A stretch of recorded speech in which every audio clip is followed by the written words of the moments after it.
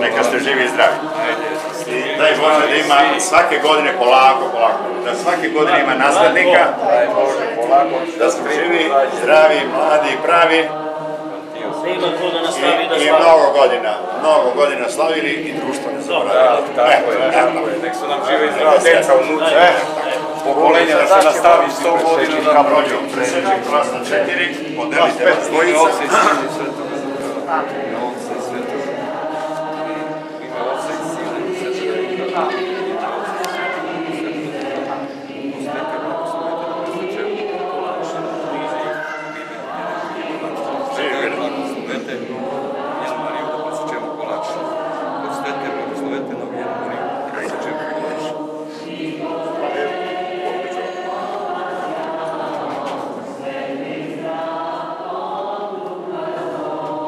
Evo danas smo proslavili svetu mučenicu Marinu koja je stupila pred gospodom na sve muke cara Di- Dioklecijana koji je prema njoj nudio je i sva carstva i bogatstva kao što je sam đavo gospod Isu Hristu na o, o, u pustinji nudio sva bogatstva ove zemlje. Tako i car Dioklecijan ovoj našoj svetinji, svetiteljki, ponudio sva carstva ovog zemaljska, sva e, blaga i tako, ali ona nije se odrekla Hrista, nego mu je rekla da ja verujem u Hrista i odričem se tebe, kralju.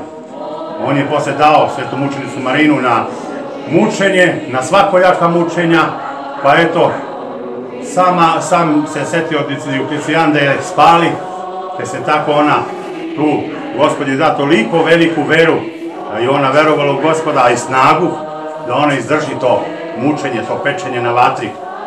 Pa je posle molila gospoda da je ugasi, a Dioklecijan to i potvrdi, te je stavio u neko bure, u neki bazen, sa glavom na dole, pa je mučio tri dana, ali joj gospod sadrži dušu.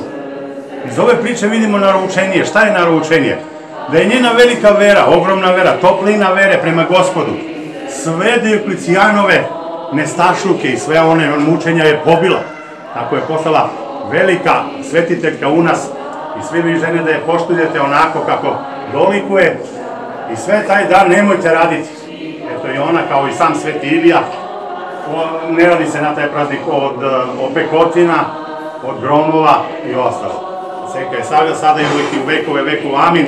Da ste mi svi živi i zdravi, da se uvijek srećemo ovde na ovaj praznik, dugo, dugo, i da nas sveta mučenica Marina ili Ognjena Marija sačuva, spasi od svih opekotina, gromova i tih nečasnih sila koje je Dioklecijan izvršio na nju.